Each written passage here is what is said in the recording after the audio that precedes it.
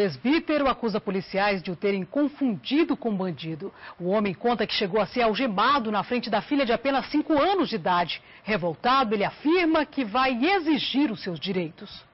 O presbítero Josué Pereira de Carvalho dirige a igreja que fica ao lado de sua casa. Mora no mesmo local há 10 anos e nunca imaginou que pudesse ser confundido com um bandido.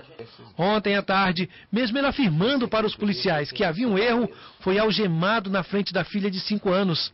A garota chora todas as vezes que se fala do assunto. Para Josué, o constrangimento será difícil de ser esquecido pela família e vizinhos. Os agentes da Polícia Civil o abordaram quando estava na esquina de casa. Ele recebeu voz de prisão e foi logo algemado. A filha começou a chorar. Um dos agentes levou a garota até a casa do presbítero, mesmo ele pedindo para levar a criança. Os vizinhos começaram a tirar fotos e filmar e reclamar que os agentes estavam errados. As fotos mostram três viaturas da Polícia Civil. Um dos agentes traz a foto do verdadeiro homem procurado. Se chamava Francisco e o tipo físico completamente diferente de Josué não tem como a gente aceitar, né? Porque é uma criança.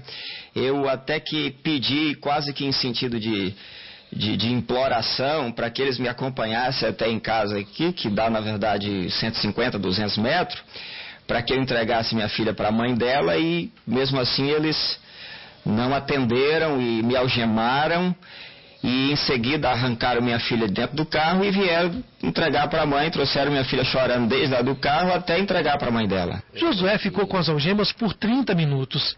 As fotos mostram o agente com a foto e os dados. E Josué já sem as algemas, retiradas assim que descobriram o erro. Aos poucos, as viaturas foram embora. Este chefe de equipe chegou a pedir desculpas, mas ao notar que havia revolta de Josué e dos vizinhos, mudou de estratégia. Quando notaram o erro, os agentes procuraram uma saída honrosa. Chamaram uma viatura da Ciatran porque descobriram que Josué estava sem a carteira de motorista. Então lhe aplicaram uma multa. Foi uma tentativa de sair do constrangimento que fizeram a vítima. Infelizmente, eu estava no momento sem a minha habilitação. É, passivo, claro, de, de ser punido por conta de estar dirigindo sem habilitação, ainda que fosse um percurso pequeno, mas isso, claro, não justifica. E então o senhor ele foi muito claro.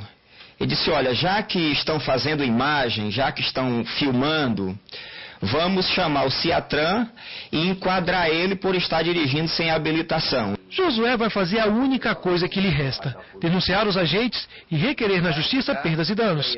O delegado responsável pela Corregedoria de Polícia não quis gravar a entrevista.